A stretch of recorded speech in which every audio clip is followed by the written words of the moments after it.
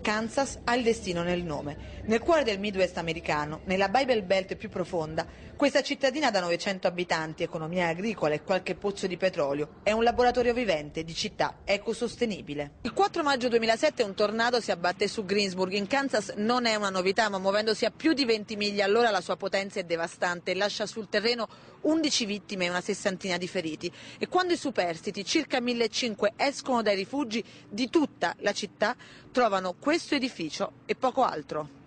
Il giorno dopo la decisione, trasformare la tragedia in opportunità. Così i cittadini si sono rassegnati a due anni di camper in un campo alle porte della città per ricostruire secondo tutte le regole dell'ambientalismo. A partire dalla produzione di energia, in paese si usa un mix solare, geotermico, eolico. Le fonti sostenibili non assicurano ancora l'indipendenza, ma la strada è quella ed è segnata. Vale per il municipio, per l'ospedale, per la scuola. I palazzi pubblici hanno tutti, per delibera comunale, un rating platinum, ovvero rispettano i più alti standard ambientali.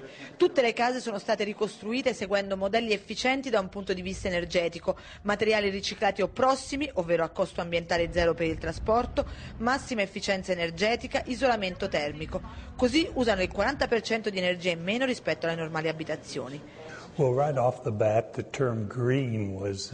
Nell'immediato il termine green era intimidatorio, ma qui nell'America rurale siamo ambientalisti e abbiamo capito che se ci prendiamo cura della terra, la terra si prenderà cura di noi. Abbiamo chiaro il concetto di sostenibilità e per me essere verde ne è soltanto una parte.